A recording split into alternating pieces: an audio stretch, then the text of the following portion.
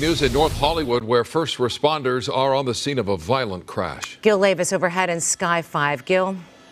Sharon Micah, this call came in just after 10 o'clock this evening.